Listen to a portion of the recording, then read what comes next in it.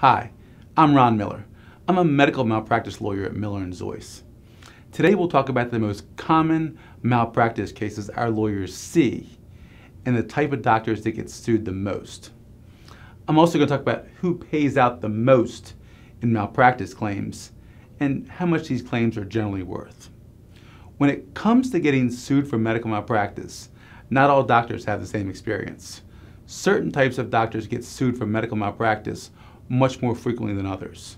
For instance, OBGYNs who deliver babies get sued for malpractice very frequently, while the pediatricians who take over the care after birth are rarely defendants in a birth injury or medical malpractice claim. Let's start by looking at the doctors that get sued the most. The key statistic here that we turn to is which medical specialties have the highest number of paid malpractice claims. This statistic is a little bit misleading, right? Because certain specialties are much larger than others.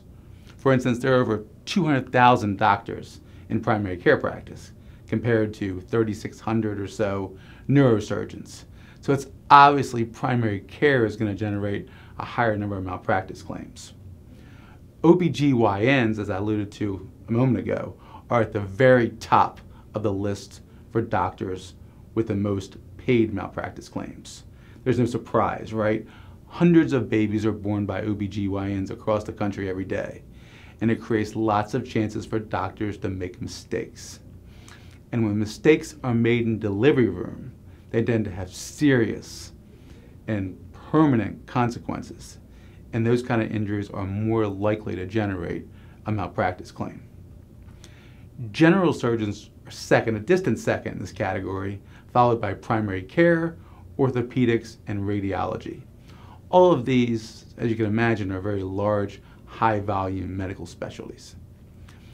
Next, let's look at the, what types of doctors have the highest number of paid malpractice claims. This gives a more accurate picture of the level of risk that particular doctors face. It demonstrates that there are a few specialties that are extremely high risk specialties, thoracic surgery, for example. But they don't generate a high volume of claims because the size of the field. Neurosurgeons and plastic surgeons rank one and two in this category. Thoracic surgeons come in third place, followed by OBGYNs and orthopedic doctors. Finally, let's look at the median amount of paid malpractice claims by specialty. This gives us an idea of which doctors are facing the most expensive malpractice claims. This generally reflects the severity of injuries and the consequences resulting from malpractice within the various specialties. Neurosurgery tops the list, with OBGYNs in a very close second. General surgery is third. At the bottom of that list, you'll find plastic surgery and dermatology, with the lowest average value paid on claims. I hope you found this video helpful in understanding which doctors are most commonly sued in malpractice cases.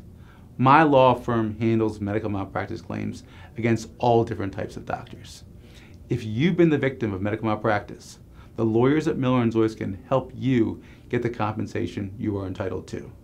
Call us today at 800 553 8082. Thank you.